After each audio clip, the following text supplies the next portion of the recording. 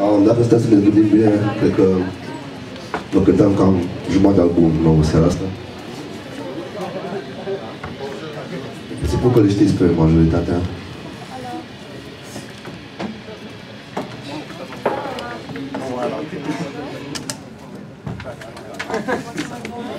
Asta e piesa mai rar cântată până acum, se numește Are We Happy Now? Și